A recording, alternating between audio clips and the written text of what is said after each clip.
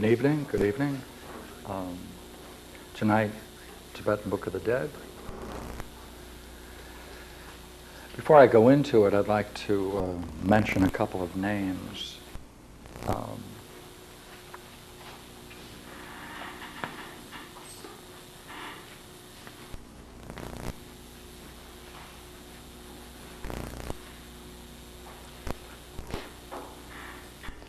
Some years ago, back in the early 50s, uh, I had the opportunity of studying with Lama Tada.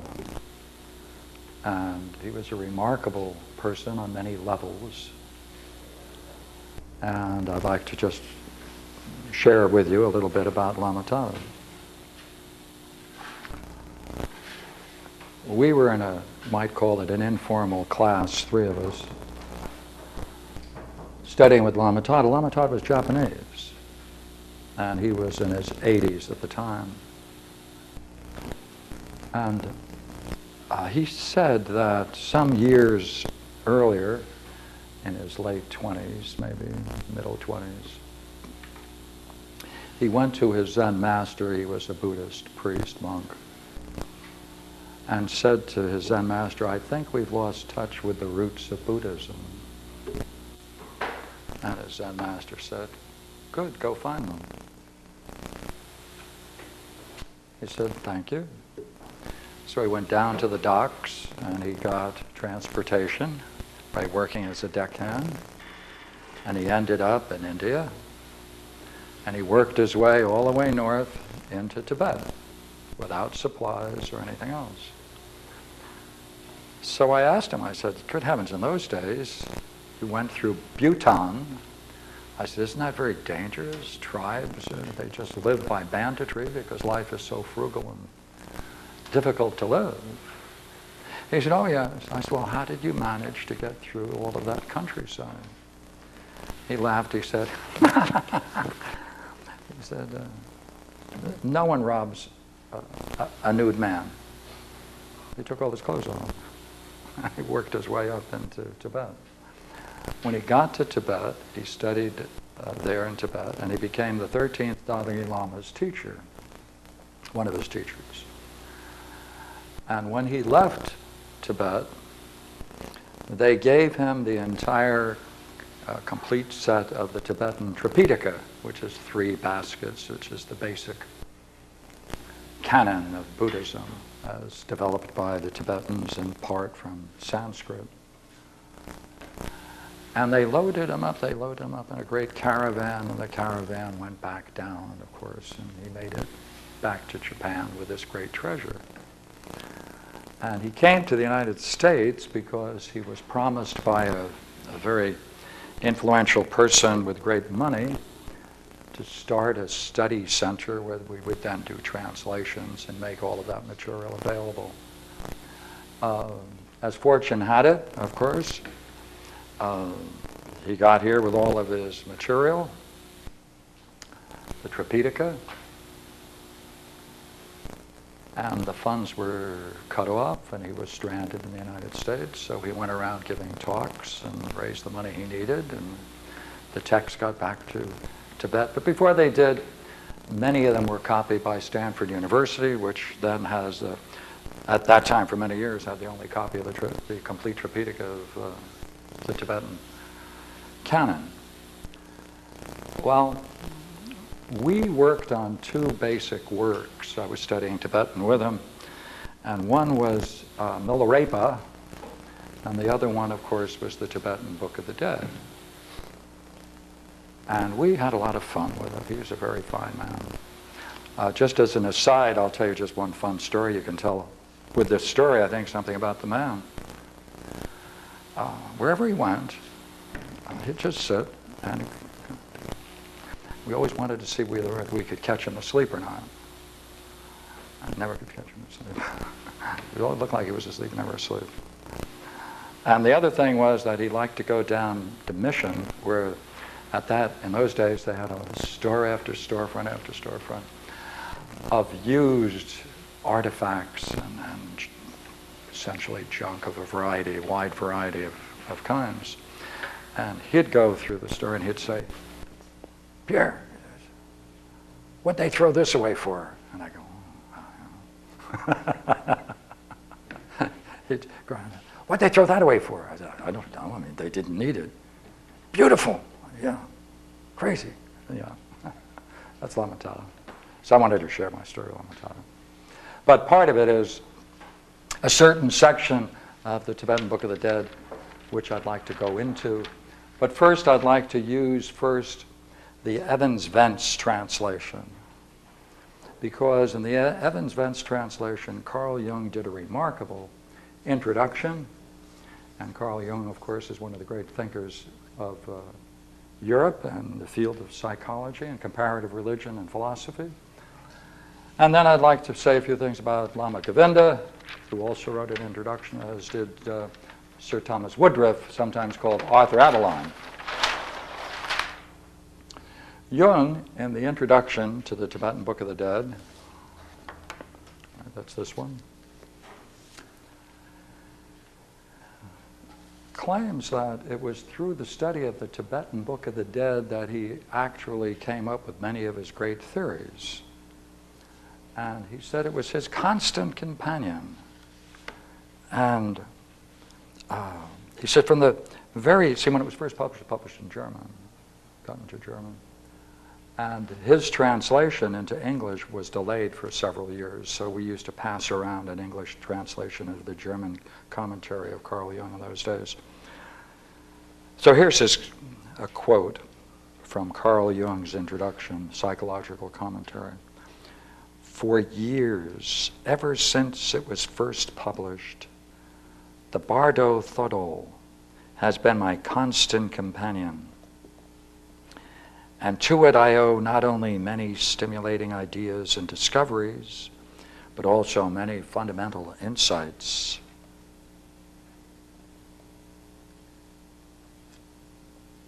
Unlike the Egyptian Book of the Dead, which always prompts one to say too much or too little, the Bardo Thodol offers one an, intel- an intelligible philosophy addressed to human beings rather than to gods or to primitive savages.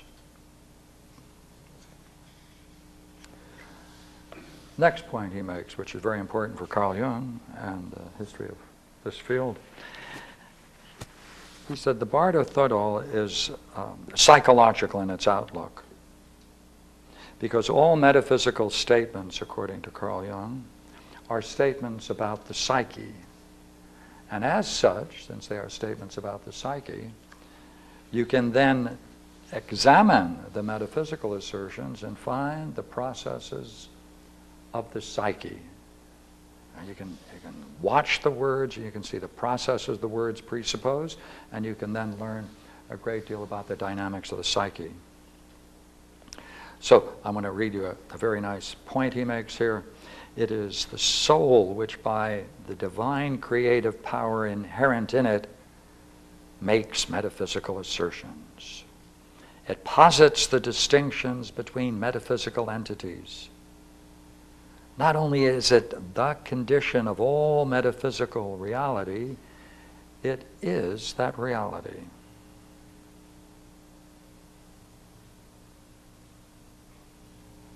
And the quote that he likes most from this entire work, uh, I'm sure you're going to share in liking it as well.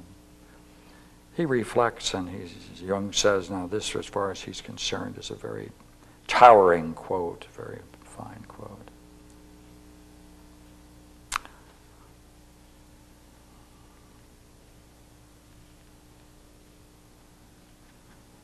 Two small paragraphs.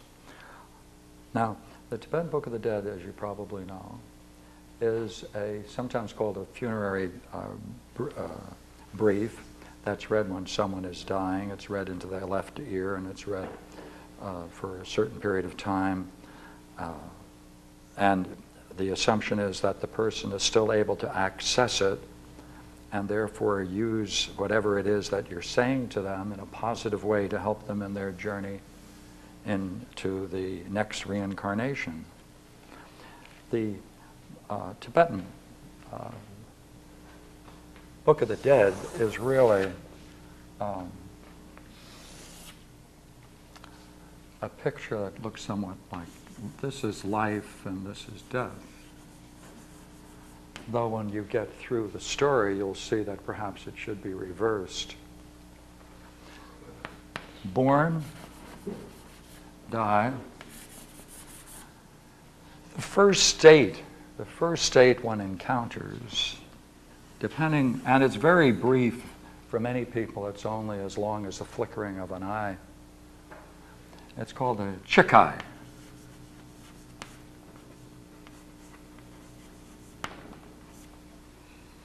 That is an experience of ultimate reality. Then, for the next seven days, there's a period called the Chanyid and the Sidpa. Now, we're going to talk about these are planes. Bardo, actually, the word bardo in Tibetan is bar do. Do means um, a mark. Uh, it's a mark. It can also be an island. It can. It, it's a mark. Uh, same word for island. It's, it's something that distinguishes something. It marks it. Bar is the word for whenever you're dealing with something, it's that which you can describe as something that can locate it in between. So it's a, it's a mark it marks between. See, it's a mark between. And that's what this is. It's between life and death.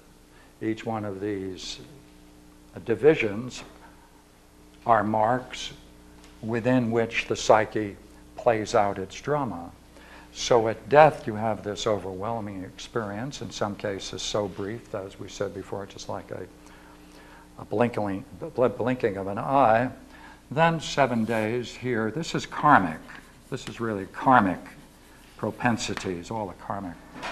From this point on, uh, this moves into what are called the wrathful, from the peaceful to the wrathful deities. And it's the processes, it's the processes the soul goes through as it then selectively chooses its next reincarnation. So, this is really a book about your life, your death, and how you choose your next reincarnation.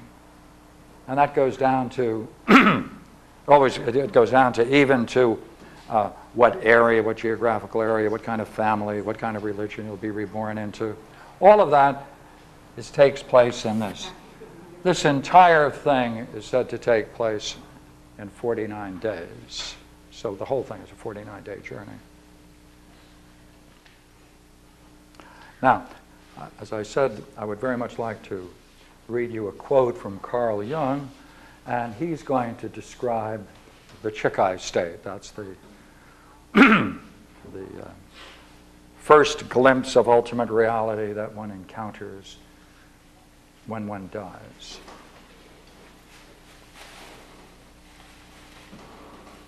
And these are the words, by the way, which are also spoken to the person who has just died, spoken now obviously into the left ear, which is the one that hears into the next world.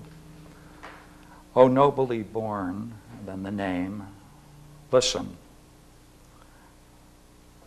Now thou, thou art experiencing the radiance of the clear light of pure reality. Recognize it. O nobly born, thy present intellect, in real nature void, not formed into anything as regards characteristics of color, naturally void, is the very reality, the all good.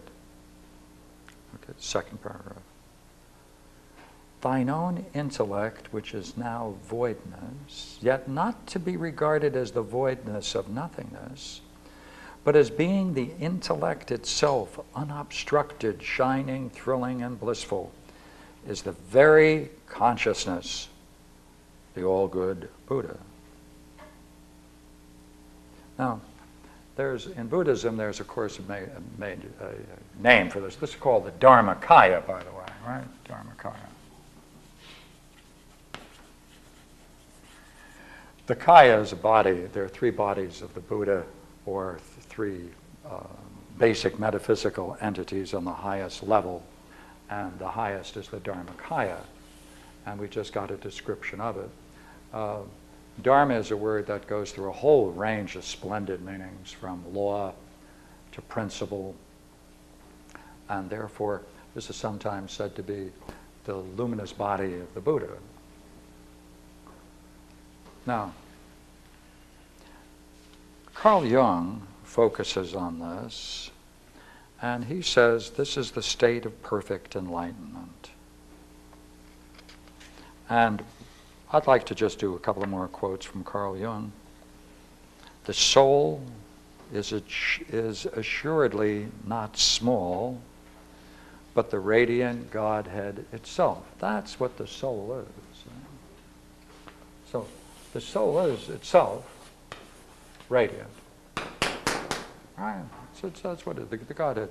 The problem, therefore, if it is, why is it that we don't see it? Well, that's the veil theory.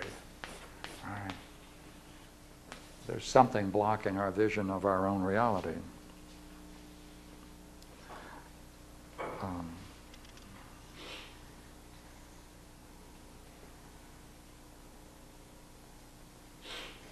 and this is where Carl Jung introduces his own spiritual advice.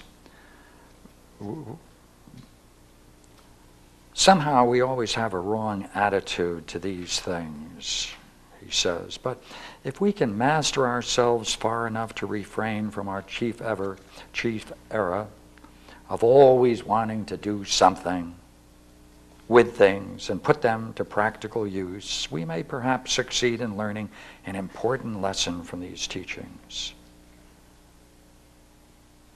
Or at least in appreciating the greatness of the Bardo Thodol, which vouchsafes to the dead man the ultimate and the highest truth that even the gods are the radiance and reflection of our own souls. Now, um, this period of the Chanyid, this is where Carl Jung says he was able to find what he calls the insight into the archetypes in psychology. He said, This is really, the Chanyid is really, and he uses uh, Plato's forms. He said, This is Plato's forms as well. Uh, Ade, right?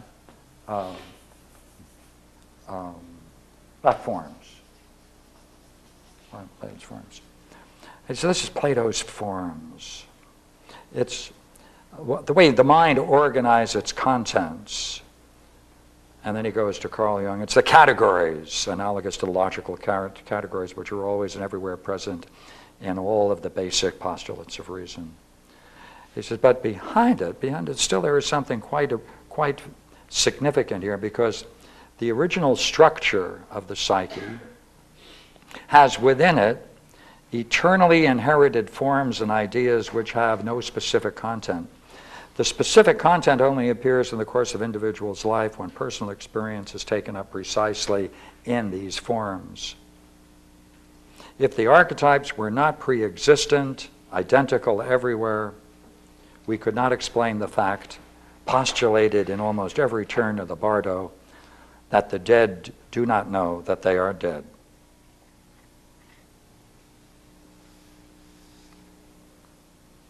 that's the most important thing in this whole Tibetan Book of the Dead. That curious statement is the dead don't know they're dead. And therefore, the benefit of this kind of teaching, assuming it can do what it does, is to wake up. It repeats one phrase repeatedly throughout the entire session, over and over and over again. Recognize, recognize, recognize, recognize that thou art dead. Recognize what you are facing. Recognize that now you are in the clear light recognize what you're passing through are all the karmic influences of all of your past reincarnations, all of them. Right? And now you're going through the processes of reincarnation. Face the archetypal images, Recognize them for what they are. They're projections of your own mind. These are projections, the most fearful.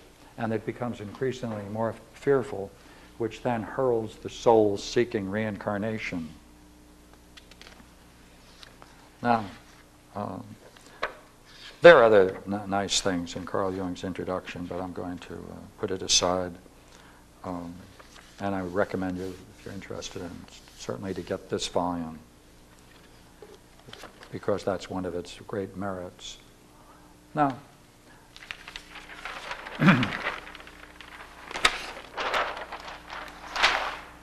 so just to pull things together, all right, it's his constant companion.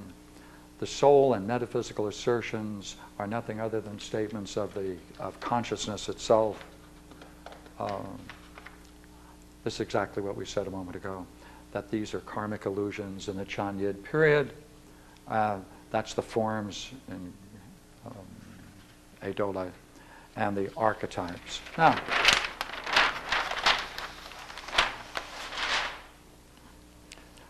in another introduction to Evans Wentz's introduction, pardon me, another introduction to the Tibetan Book of the Dead is by Lama Govinda.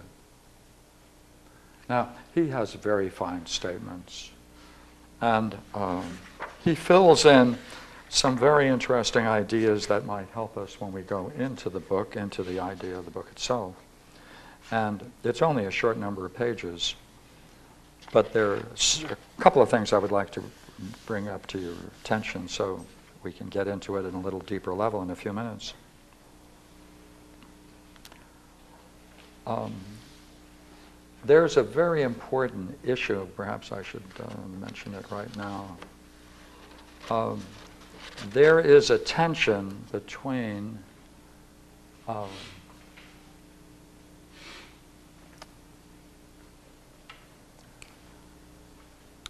Govinda, Evans Wentz,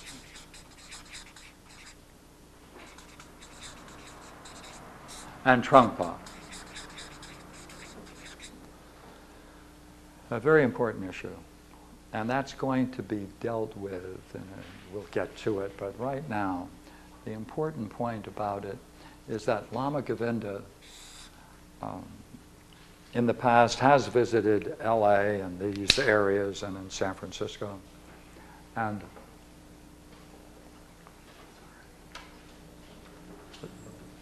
the, the whole drama behind Govinda uh, as you probably know, he is a, a, Lama. He's a German, originally German, and he lived uh, for many years in northern India and in a monastery and has a very fine center over there. And he is one of the great spokesmen for the Tibetan philosophy of this kind. Lama Govinda takes great issue with this book, this translation, and Trungpa, who, as you know, was um, um, a Rinpoche, a, Tibetan high priest, and yoga, and he had a big center in Colorado before he died. And he too takes issue with Evan Wentz's translation on just one issue, and the whole drama revolves around how you're going to describe the Chikai Bardo plan. That's, that's the whole issue. It comes down to that. Because there are two things that are going on in here, and that is the intellect and consciousness. And however you describe them, and the way they are functioning and said to be functioning in this work will put you in one camp or the other. So, I'd like to now say just a couple of things because Lama Govinda is very helpful at this point. Applying the Bardo Thodol teachings, it's a matter of remembering the right thing at the right moment. But in order to remember, one must prepare oneself mentally during one's lifetime. One must create, build up, cultivate those facilities, faculties, which one desires to be of, of deciding influence at death and in the after death state, in order never to be taken unawares and to be able to react spontaneously in the right way when the critical moment of death and after death occurs.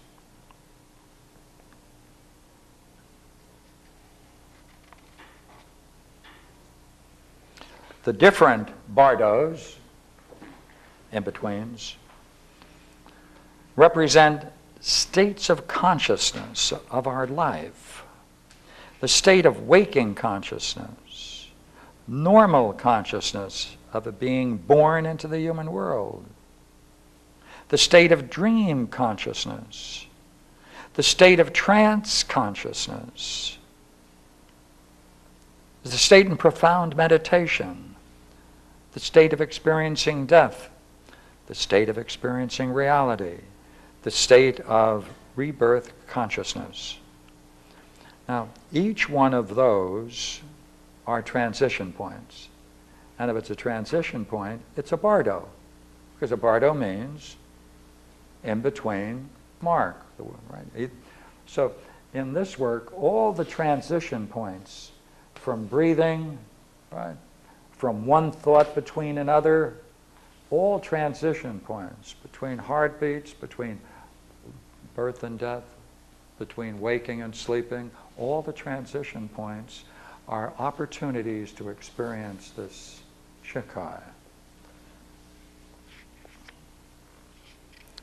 So, what does our good friend Govinda say? He says, hey, look, it's a matter of importance that we remember the right thing at the right time, and therefore, all of the studies that you do now, right, all that you create, build up, cultivate, that then, therefore, is accessible at these key moments.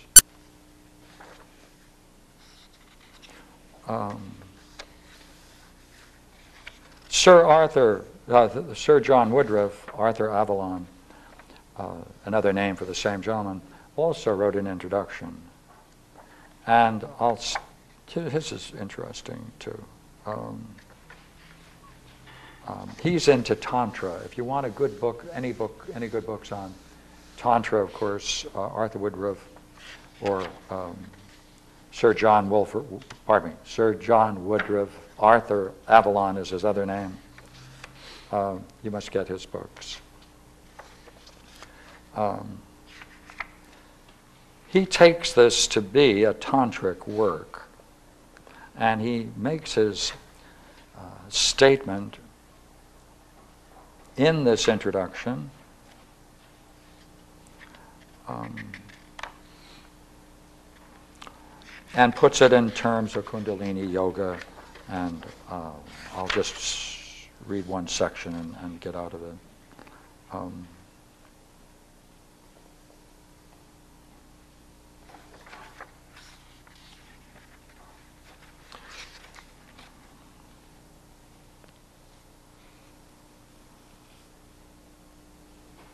he makes a distinction between the peaceful and the wrathful deities, and he relates it to Tantra. And uh, I'd like to just read that one section. The peaceful Devatas are said to issue from the heart, the wrathful from the head. I do not, however, think that this statement necessarily lets in the yoga doctrine of the serpent power and the six centers, which the editor has shortly set out in part two of the uh, addendum, which he did in the end of the book. Um, I myself think that the mention of the heart and the head does not refer to these pages as yoga centers, but possibly to the fact that peaceful deities reflect, as stated in the text, the love of the deceased which springs from his heart, and only secondarily from those two centers. So, um, I would allow now to. Um, shift gears now? And oh yes, yeah, I'd, I'd like to do this. This is interesting. Why 49 days? According to Tibetan view of uh, the cosmos, uh, the, the universe can be divided up into seven worlds. And within each of these worlds, there are seven degrees, and therefore that's 49 altogether. Um, the goal of the whole goal of evolution to um, the Tibetan Book of the Dead and as commented on by uh, Woodroffe and Govinda is that the human race is moving towards the evolution of consciousness to pure consciousness and making that available to man as a race. But it's first achieved by individuals, and these individuals are precursors to the evolutionary forces. Next, he talks about, uh, the Tibetan Book of the Dead talks about five different kinds of wisdoms. And he relates them Govinda relates them to the five elements and as they are understood. And he reduces this entire set of philosophical, um, you might say, um, principles, philosophical principles or teachings, to 21 statements. And I'm not going to read all 21, but uh, I'm sure you want to hear some of them. Um,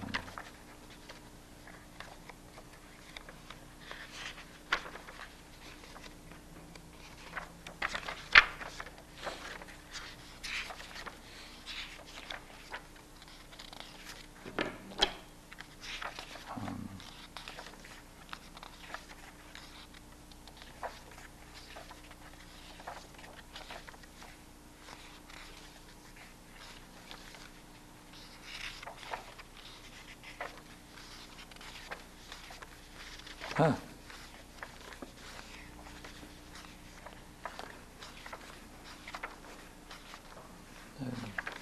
No, no. What it? Should be in.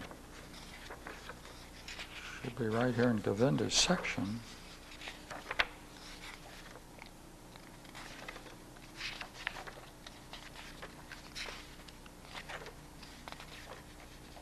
Well, I guess I'll have to use my memory. But they're so well stated.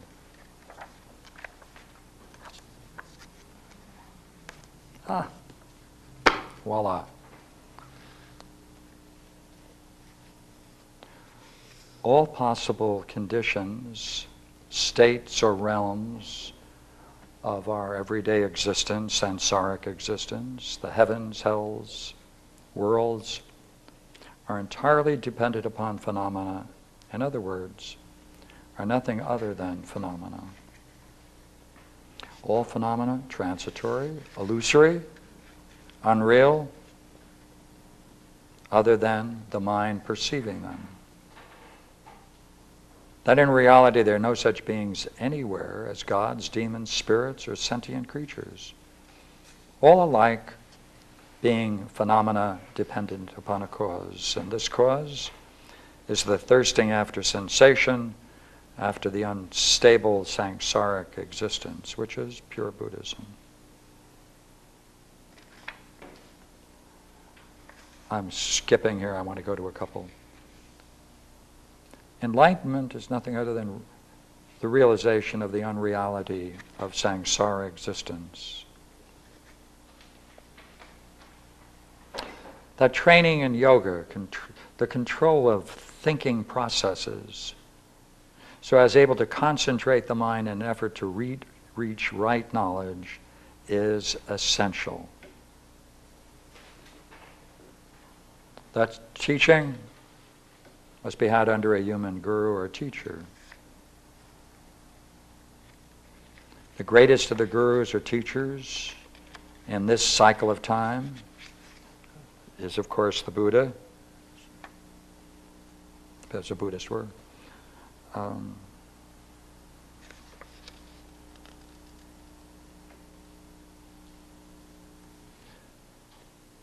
that all there is is reality. He who realizes nirvana The Buddha Gautama himself has spoken to his own disciples in this way. There is disciples a realm devoid of earth and water, fire and air. It's not endless space, but infinite thought, nor nothingness, neither ideas nor non ideas. Not this world, nor that it is. I call it neither a coming nor a departing, nor a standing still, nor death, nor birth. It is without a basis, progress. It's the ending of sorrow. So that's the, I just read a few of them. Okay, now, I'd like to turn to the Chikai state, because that's the major one. Now, a couple of key terms. The Dharmadhatu is the luminosity. It isn't merely luminosity. It means in that luminosity you're at, you are grasping the essence of things just the way they are, right? Just so. And now we're going to go into this curious problem of describing the Chikai state. I have uh, two translations. Now, this is the great moment. I'm in the part one of page 94 to 97 about.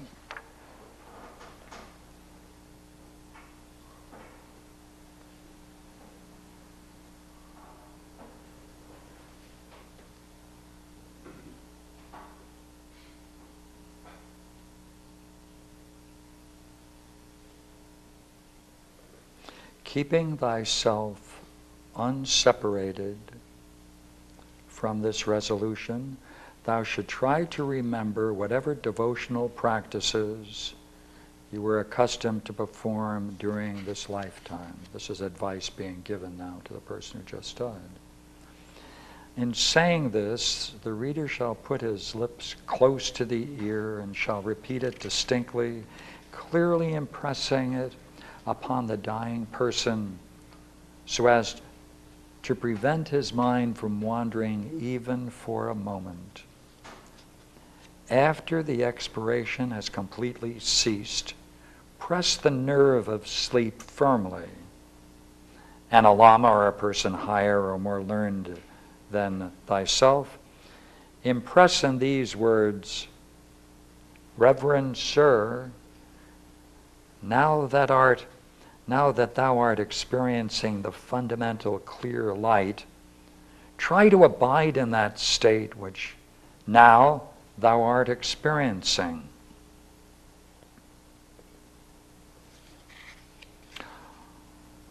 O, o, o nobly born, listen. Thou art experiencing the radiance of the clear light of pure reality. Recognize it O nobly born, thy present intellect in real nature void, not formed into anything as regard characteristics or color, naturally void, is the very reality, the all good. Thine own intellect, which is now voidness, yet not to be regarded as the voidness of nothingness, but as being the intellect itself, unobstructed, shining, thrilling, and blissful, is the very consciousness, the all good Buddha. Thine own consciousness, not formed into anything, in reality void, and the intellect shining and blissful, these two are inseparable. The union of them is the Dharmakaya state of perfect enlightenment.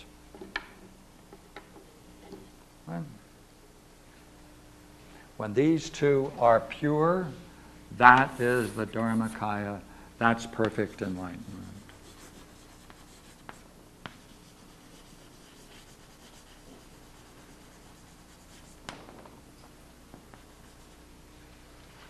what's the distinction between those two? Yeah, yeah.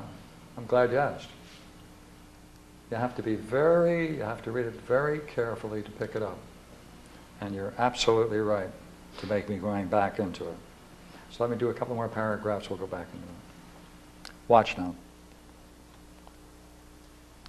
Now he's talking about consciousness.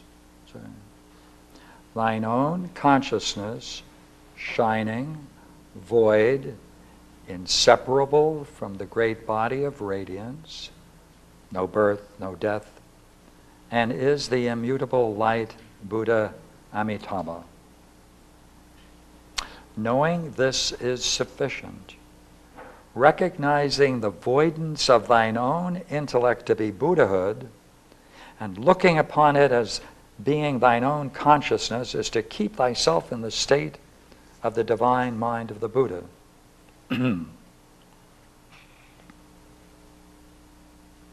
Repeat this distinctly and clearly. Three times, seven times.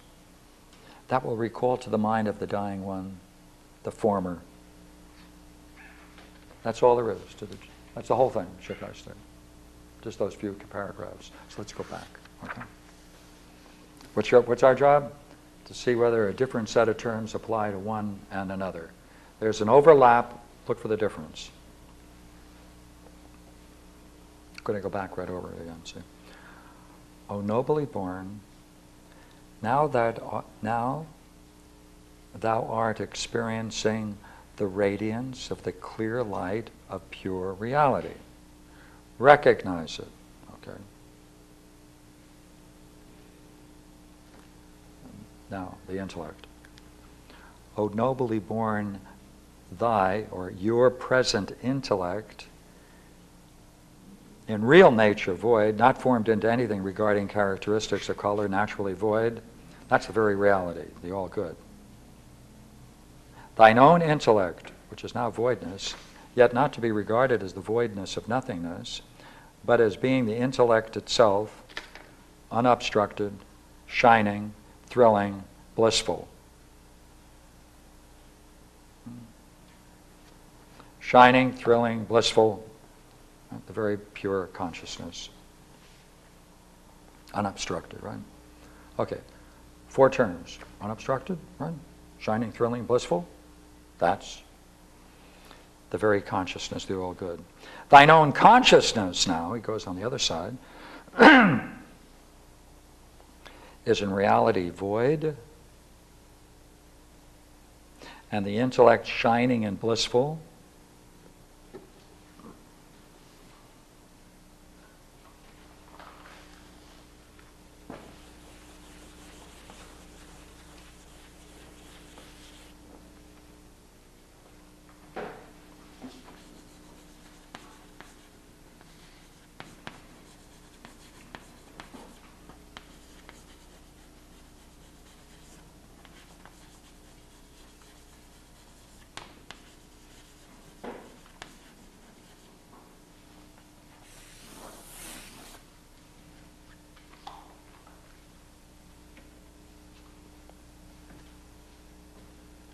The intellect itself, unobstructed, shining, thrilling, blissful.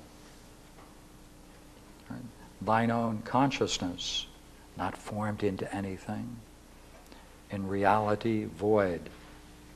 The intellect shining and blissful. Repeats, shining, blissful. He doesn't give these two qualities to pure consciousness throughout the entire work.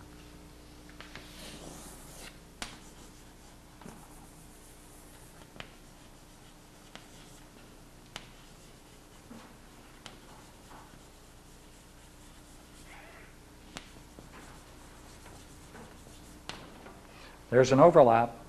so I'll go back over it and you can see it again. Recognize thy present intellect in real nature void, not formed into anything's regard, characteristics, color, naturally void.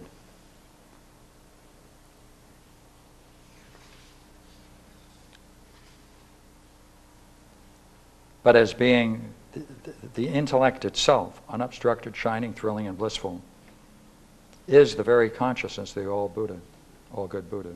Thine own consciousness, not formed in anything, in reality void, and the intellect shining and blissful, these two are inseparable. These two are inseparable.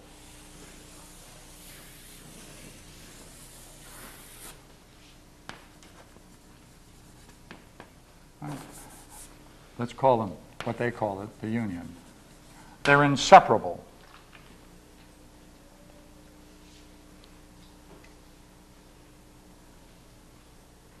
The union of them is the Dharmakaya,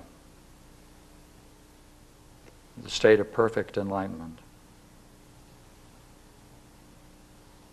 Thine own consciousness, now the overlap, shining, so it picks up shining, void, inseparable from the great body of radiance, has no birth, death, is the immutable light.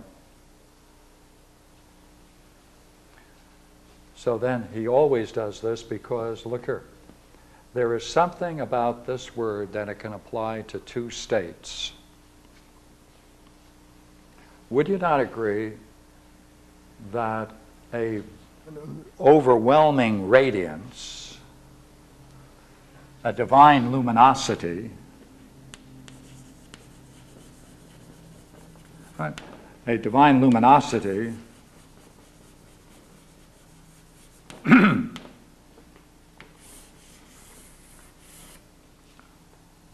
can be described as shining, thrilling, blissful, and nothing obstructs it. Okay, now, say, is it possible that there are times when we can go out, probably away from LA, where we encounter up in the mountains, perhaps, a sky that is absolutely clear of clouds, pure. Is there not a shining quality to that sky? See, the word shining can go both ways, both as radiance and a pure empty sky. They're both, they could, both are brilliant, both have a brilliance.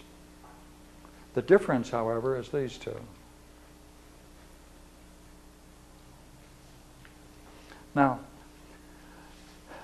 we're now going to get into this wonderful world where we can now talk about things that we've just described and put names on them.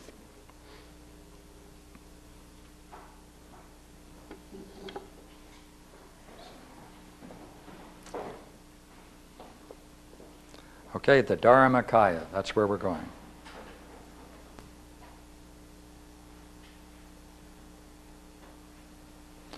The all good, the all good is called pure intellect, the all good, all good Buddha. So I'd like to introduce two terms for you now the all good father, the all good mother.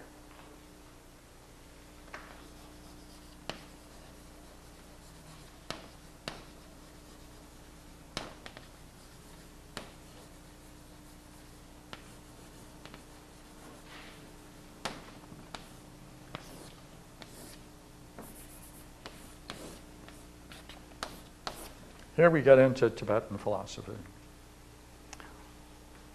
In this experience, a distinction is being made between pure intellect and pure consciousness. Which goes with which? That's the whole issue. Which goes with which?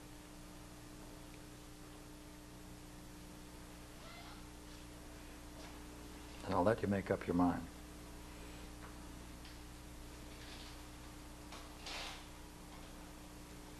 According to the great perfectionist school in Tibetan philosophy,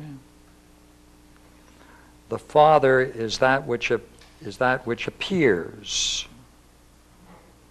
The Mother, that which is conscious of what appears.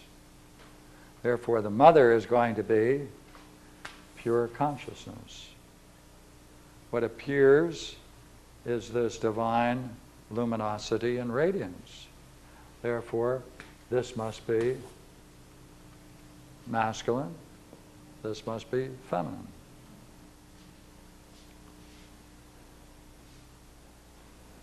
The union of the two right, on the highest level.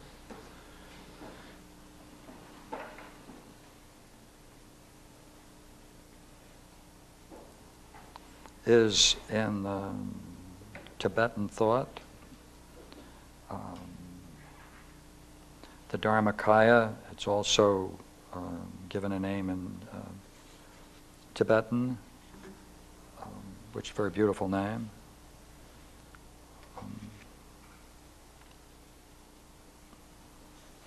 the uh, Chonyed Kuntu Sang Po. And I'm just going to stay on one word, Po, the last syllable, right? Po and Mo. Okay? Whether you get one or the other, father or mother.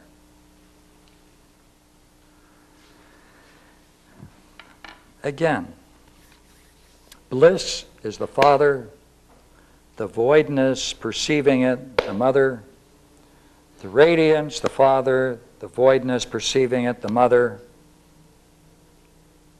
the intellect, the father, the voidness, the mother. The repetition of the term void is to emphasize the importance of knowing the intellect to be in reality void that is of the nature of uh, voidness. Unborn, uncreated, unshaped, primordial.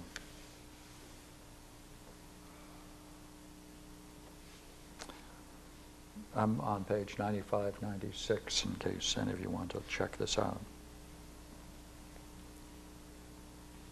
In this state, the experiencer and the thing experienced are inseparably one and the same as the yellowness, yellowness of gold cannot be separated from gold, nor saltiness from salt. For the normal human intellect, this transcend, transcendental state is to beyond comprehension. From the union of the two states of mind, or consciousness, implied by the two terms, the all good father, the all good mother, is born the state of the Dharmakaya, a state of perfect enlightenment Buddhahood. The Dharmakaya symbolizes the purest and the highest state of being, the state of supermundane consciousness, devoid of all mental limitations or obscurations which arise from the contact, contact of the primordial consciousness with matter. Well, I could read some more, but that's basically it. Now let me shift. And uh, this is the same book from uh, Tibetan book, the Tibetan Book of the Dead, and this is Trungpa's um, translation.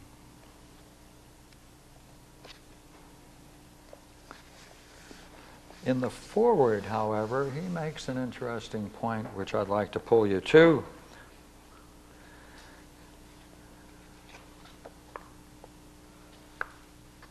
Kazi Dawa Samdup, which is the translator who worked with Evans Wentz, changed the translation from the original wording.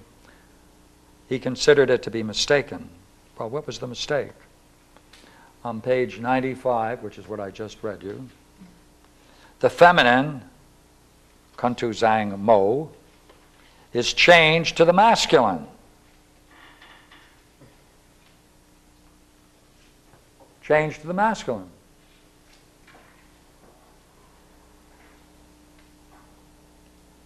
And it appears twice. But the whole point of the passage lies in the symbolism of the union of the male and the female aspects of mind. He makes a, a, another note. It's hard to understand how there could be such a mistake. So, the big difference between Trungpa and Evans Wentz, you see, is that Trungpa insists that this is a mistake, and it's exactly the reverse. The father should be this, the mother should be that.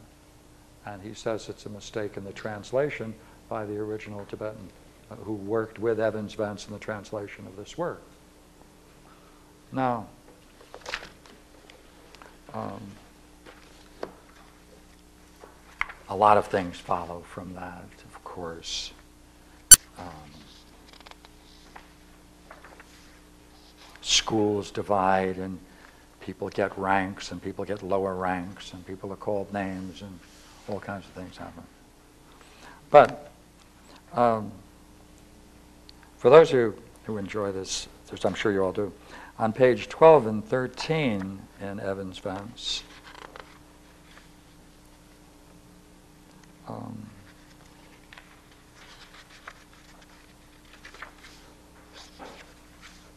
there is a very interesting introduction, which I really recommend to you, by Evans Wentz.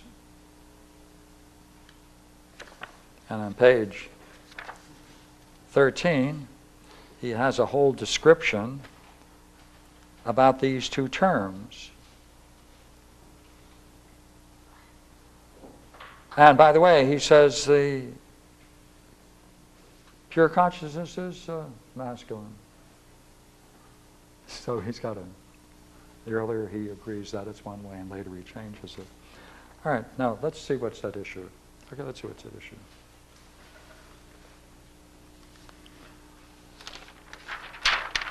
There are two.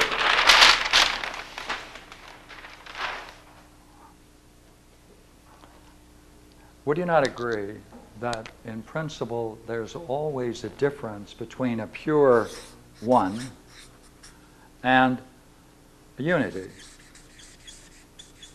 A unity is one, but it must have parts in a union. When they describe these two as a union, which is what they do, right, then this is a union of two.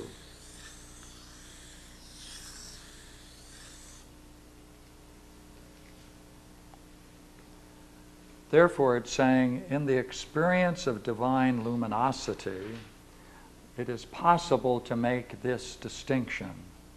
On the one side, right, divine radiance, and the other side, what is conscious of it.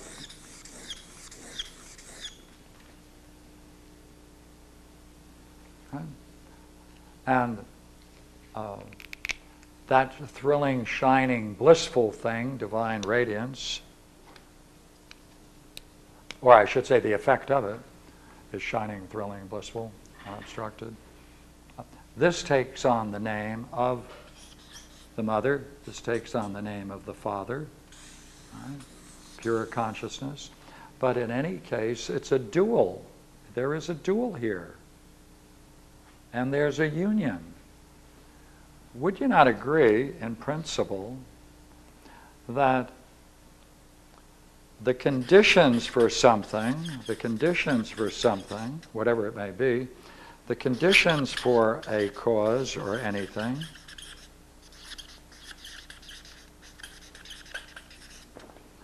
must always right, be prior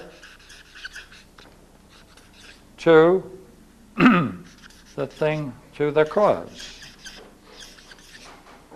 Okay, what do I mean by that? If you're going to light a match, right, I can say the cause of the fire is that I struck the match and it ignited. Under, by the way, there had to be certain conditions for that to be possible. There has to be a certain temperature possible, right? There has to be an, an ignition point. There has to be a kindling uh, aspect. There has to be certain conditions for a cause to be a cause.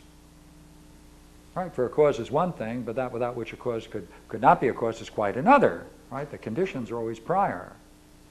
Therefore, the conditions for a union or unity must be, must it not, that there must therefore, condition for a unity must be that there must be a one.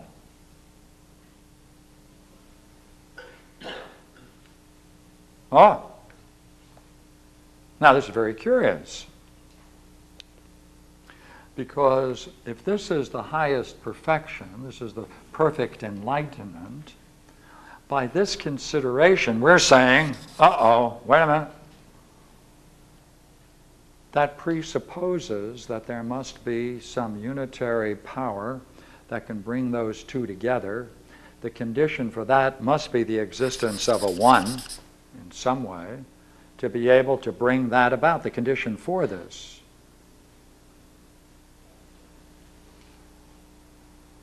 Well, then, either this is merely a linguistic distinction that doesn't have any metaphysical merit to it, or we are saying that necessarily there must be something prior to it that is, that is its very raison for existence, its very reason for being, and therefore there must be something higher than that, and that must be the one. Now, this is called the problem of unity and of the one. That's what it's called. In Plato's Republic, in Book 7, there's a very famous paragraph. I know at least seven people who are involved in it. That's a lot, isn't it? And he makes the distinction, you see, between the one, or the good, same thing,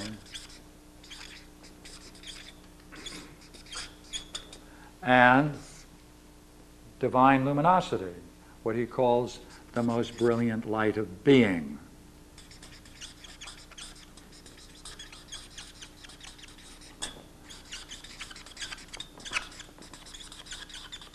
Ah, That's because the most brilliant light of being. This is the object of Plato's entire metaphysics. To reach that, to be able to experience that. That's the divine luminosity. That's what he calls it. He said, going from the everyday world into this is like going from Hades to heaven. That's the way he describes it in the Republic. Now, in Plato's Republic, though, you see, he says in a very interesting passage in Book 7, he said, This stands like a king, as this stands to a queen.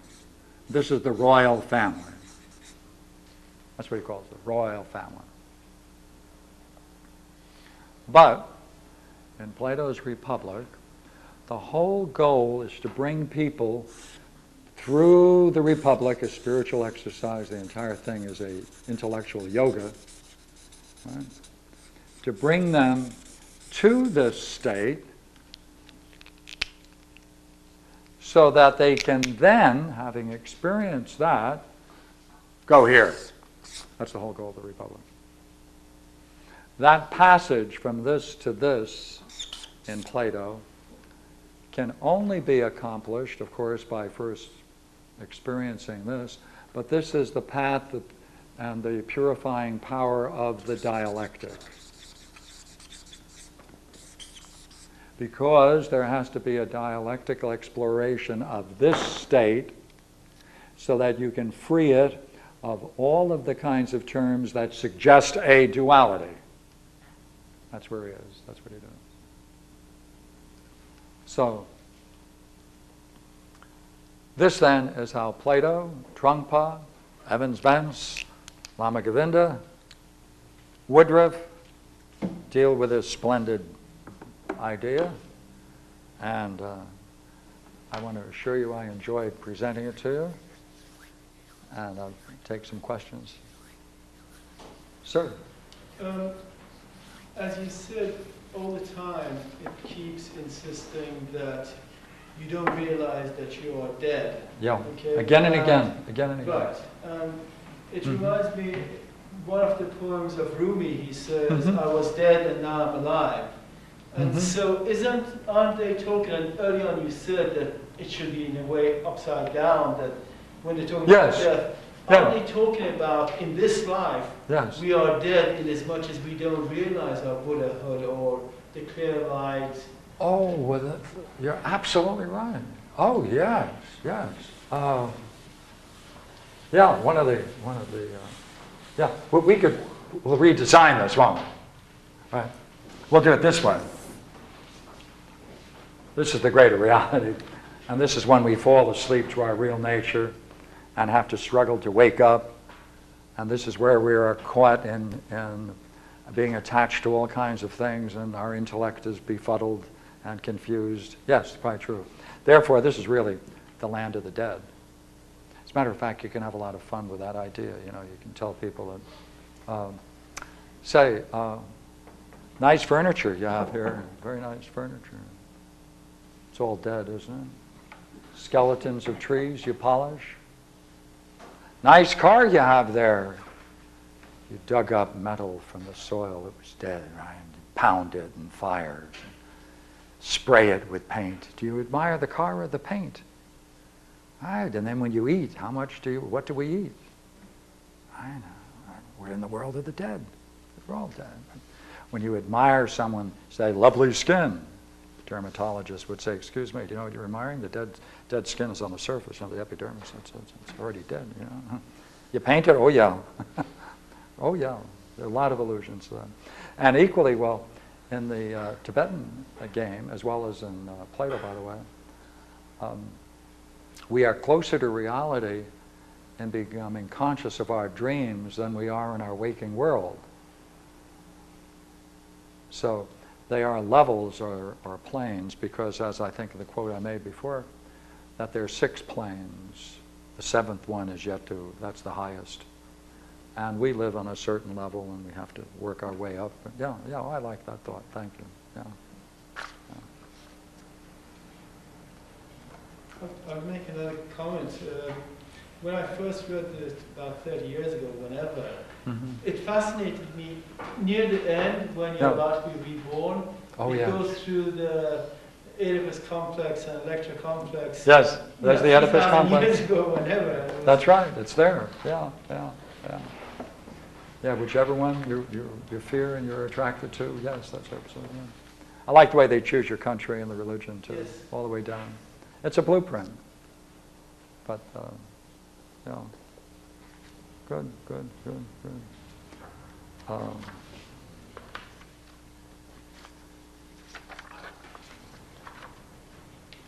So that's the subject of dialectic you were saying earlier, to move, or at this level, it's moving from the most brilliant light of being to the one. I don't know, it's a moving, but it's definitely being in something that's different than what you're in for. If you could be in it. So how could that be a dialectical exploration in the most brilliant light of being, would you be even able to participate in dialectic?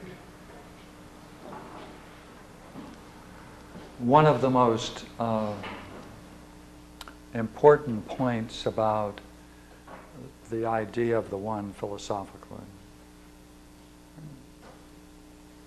is that there are no possible predicates you can make of it. It's a via negativa. You can only say negatives about it, right? It's not a whole, it's not parts, it's unlimited, et cetera, has no form, et cetera, right? But would you not agree everyone who experiences this divine radiance all say the same thing. That's reality. That is. You're saying something about it, aren't you? Yeah. Oh, it has predicates. Oh. Perhaps you're taken in because you think that something that thrilling and blissful must be the highest thing in the universe. How curious. Um, would you agree that anything that is must have a cause or not? Or do you think some things happen to be without being caused? What was your opinion? Sure. Oh, oh. Would you agree then if someone says reality is, that must be something that is, there must be a cause for it. Therefore, what's the cause of that blissful radiance? If there is, there's something higher than the blissful radiance. For the cause of something must always be higher than its effect. Is that right? Yeah, but I don't know. How do you go beyond the radiance, and what's up with that? What's up with that? Yeah, how does that happen? Going mean- beyond this most blissful, thrilling experience. Usually with uh, tennis shoes. What, yeah, it's like you have to put more words on. Wait a minute, how do you go? Want to talk about it. that's what I understand. I mean, an experience like that, you wouldn't have tennis shoes or. Yeah, okay, look here. In the middle of it, would you not agree, as far as the person is concerned, there can't be anything higher? Right. Right, that's it. Right. People who experience it are willing to, if they could endure it, uh, enter into it more fully, uh, give up their life for even for penetrating it even that much more further. Right. Total, total acceptance, right? But they do say it is, don't they? And must there be a cause for whatever is? Oh, must the cause have a higher status than whatever it is that it produces? Oh, must the conditions for this be higher than the thing itself? This, this is very disillusioning. This is a, this philosophy is extremely disillusioning. Because after all, hey, this is it. What can be greater? What can be more beautiful? What can be more radiant? What can be more blissful? What can be more real? Well, if it is, there must be something that causes it. Is that correct? Don't you want to find out the source of that? Yeah. Then you just stepped out of this looking for its source. That's the dialectic. Is that when that state doesn't last? The, the, uh, you're quite right. Um, a, a way of putting that is the samadhi you can go in and out of is no samadhi at all. Uh, you're probably familiar with that expression, right? Yeah, yeah, yeah. If you get into samadhi, it has beginning, middle, and end. It's bounded. You have to step out of it at some time.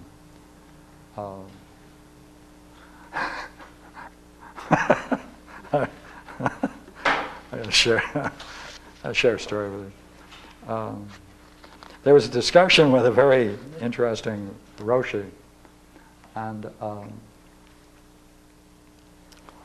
the student asked the Roshi, um, is it possible to be in that state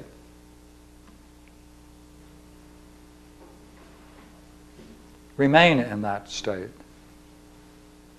And uh, the Roshi said, uh, why? He said, well, would it not be a state where you don't make any distinctions? Roshi said, yes, won't make any distinctions.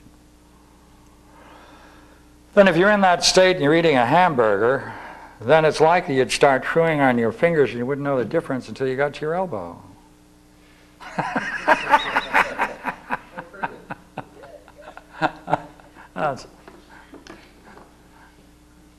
Um, this is very hot. This is a very important matter, right? This is this the this is the highest level of, of playing this game. Um, on this issue, uh, this is the for those of you familiar with it. Uh, sometimes this is called the eighth oxherding picture, but there's the ninth and the tenth beyond it. Yes, you had your hand up, please. This is the uh, Chikai state, state, the The first Chikai. state. But it seems to me that you mentioned that this is a very fleeting state. Yes. So I would imagine it's not even really a matter of free will, of wanting Oh, or no. not wanting to stay there. You just don't stay there, That's right. for whatever reason. Yeah. I guess what he's saying is what's the reason? Because he would want to stay there. Or is there a reason why you don't stay there? What's the? Yes. what's Yeah. the There's a reason you can't stay there. You It's can't. overpowering. Mhm. It's draining. It's Totally. It's totally draining. You have to have great strength to endure that. But is there now another state, according to Plato, which is beyond that? That's the that's the Platonic tradition, Neoplatonic tradition. And the implication is that you'd want to go to this good state because you've experienced the other one.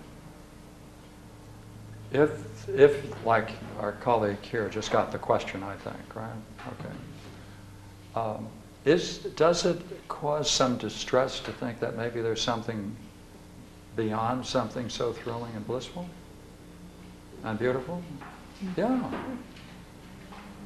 This is the problem you see in another land, in um, Hinduism, um, in the Bhagavad Gita. What, what, what is it beyond the, that light? See, that, that's the highest point in the Bhagavad Gita, the light. And you only get that when you get into um, um, ah, Shankaracharya. That's, he pushes the upper limits of Hinduism, Shankaracharya. And he separates himself from, uh, um, whew, boy, gotta get back to my Hinduism.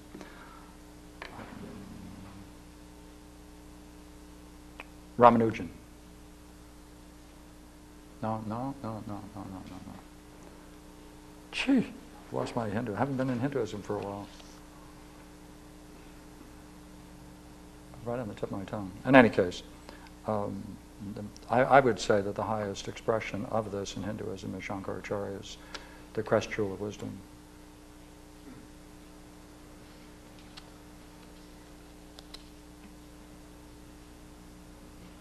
Think of like a Major thinker. God, I used to enjoy reading him. Chandrakirti. Chandrakirti is one of them. Good. I got one of them back. There's another one lingering in my background, in my memory. Please? Does one argue the cause for one? No, the one, because since it has no predicates, it isn't a thing which can be said to have a cause. Only, the only things that have That's only the causes. construct we're making though. Yeah. See, Yes, well, the, the, uh, the- you- you could explore it, but what kinds of things can be said to have causes? Only something that can do- be, be defined as being something. Right, why is not the one? But the one is not a, the one is not a thing, Why not? because that would be a predicate. Finally, in the dialectic on the one, you can't even call it a one. It becomes the nameless. Right. That, that is the way that Yeah, argument has Yeah, been. yeah.